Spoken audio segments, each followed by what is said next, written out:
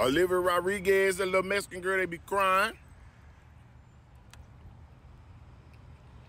Zero out of ten.